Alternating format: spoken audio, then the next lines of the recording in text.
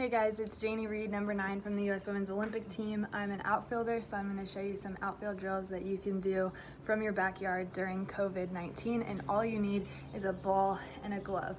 So first of all, I'm going to go over just a few crow hop mechanics because we are going to incorporate the crow hop into everything that we do during this video. So just briefly, a big thing about the crow hop is getting that big momentum step with your glove foot. So when I um, catch the ball, I want to make a big step, not a short step, because that's what's going to propel me into my crow hop.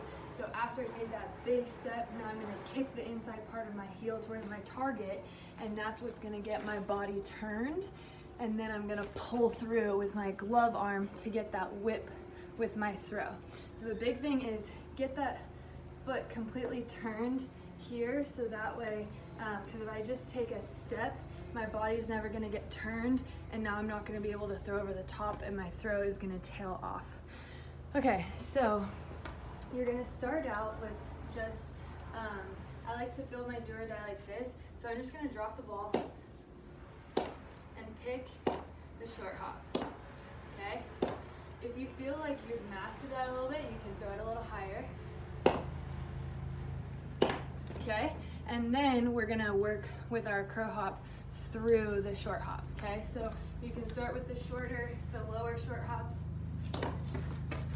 And I'm just gonna make sure my toes are lined up to my target, my upper half is lined up to my target, so that way, if I actually were to make this throw, I'd pull through and I'd have a nice, powerful, straight throw, okay? And then we can work angles too, because sometimes we have to come this way, but then get our body turned back towards our target. So now I can toss it a little to the left and a little to the right. Make sure I'm turning back to my target. Getting all the way back every time. So what this is gonna do is it's gonna allow you to practice your mechanics being sound. So that way when we can all get back on the field, we know that our body's getting all lined up and we're efficient to our target and our mechanics are sound. So go ahead and challenge yourself however way you can. You can toss it up and let it fall um, as high as you can. And then you can also do some pop-ups too. So I can go here, make sure I'm working through. Everything is about getting to this position after everything I do to make sure that my toes are lined up and my upper half is lined up.